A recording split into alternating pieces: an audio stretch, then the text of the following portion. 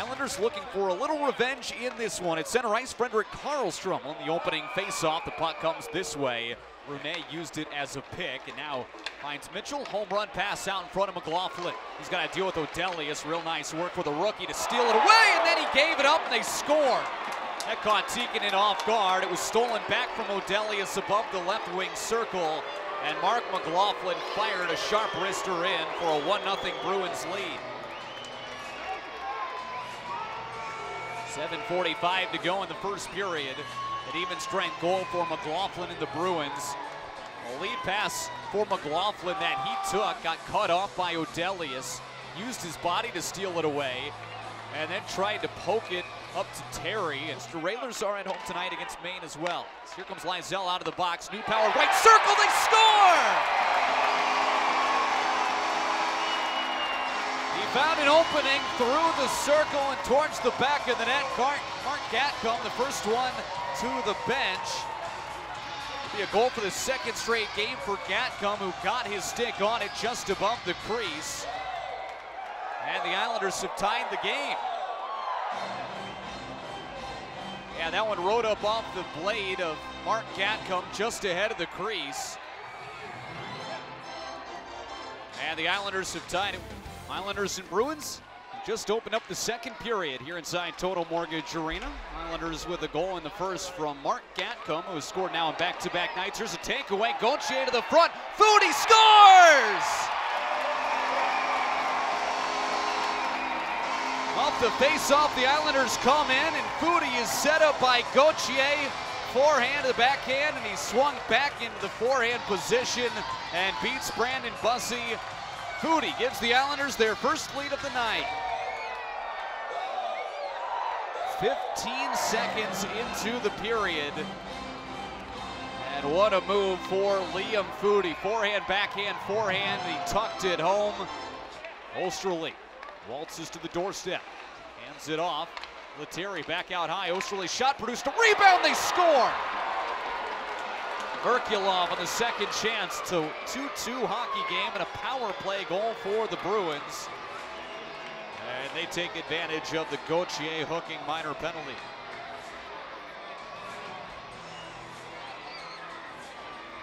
Providence power play had only scored two goals all season entering last night. They were dead last in the league, but they went two for five.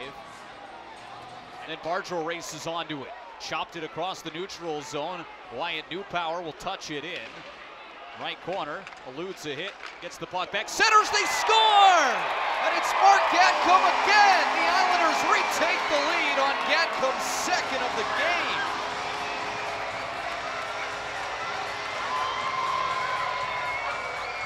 Newpower to Gatcomb. And Marc Gatcomb's got a multi-goal game. It's a 3-2 Islanders lead. Newpower started it in down the near side. Chipped to the corner, trying to slip past a hit. Gatcomb got together with Lysell. And then the puck came to him just outside of the trapezoid. Merkulov to the front. Merkulov had the most recent Providence goal, which came on the power play. Here he is, taps to the slot. Lettieri back across. Tufte scores. What a play. That sequence of tic-tac-toe passing is as good as I have seen all year. And it winds up being Riley Tufte's goal. It's a 3-3 game and the second power play goal for the Bruins in as many opportunities. Now the fifth time that the Islanders have allowed two or more power play goals in a single game this season. Minute to go in the second period. The puck wrestled away from Odelius and they score shorthanded. Viel sent it to the front of the net after the puck was stolen from Calle Odelius. And it was slapped home by Georgi Merkulov, who's got his second goal of the hockey game. It's his second on special teams. The first came on the power play. Let's do four. Islanders still on the power play. Here's Bolduc. The left circle, slap shot, kick back, rebounds loose, they score! William Dufour on the rebound. It's a power play goal to tie it at four. So the Islanders gave up the go-ahead goal short-handed, but a slap shot for Tyce Thompson from the left circle was kicked away by Bussi's left pad. It angled right to Dufour, who shoots home the rebound for his second of the season. Thrown out front, Kutar. Good got it to Merkulov. Mitchell, Merkulov, back to Mitchell, straight ahead. Shot tip, they score! Ian Mitchell, who took a shot off the knee earlier in this period and was very shaken up, returns, and here he scores a long-range shot that was tipped down between the circles. And I think that one went off of an Islander. Jeffries and Bolduc were both in the shooting lane and then thrown to the doorstep. Brown, Viel trying to find the loose puck, comes up the slot. Mast across, shot, they score! Two quick ones for the Bruins. An almost impossible angle shot below the left circle for Vinni Lettieri. Gives Providence a 6-4 lead.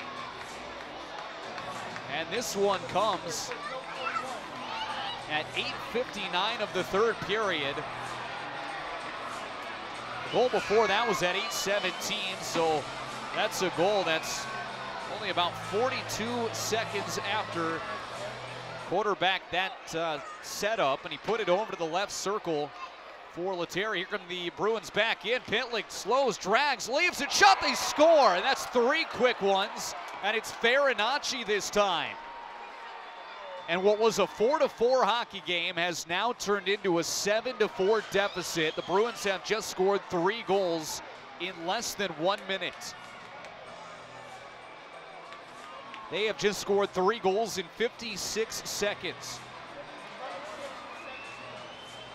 And the Islanders are down three. Full fans on a cross-ice pass, so in comes Tufte. He drops it off, and it's Farinacci to give the Bruins their eighth goal of the night. And the first player to score multiple goals for the Bruins is John Farinacci. He's got each of the last two. He scored at 9.13 of the third. And now he's got another one here at 11.24. Two goals for him in just over two minutes.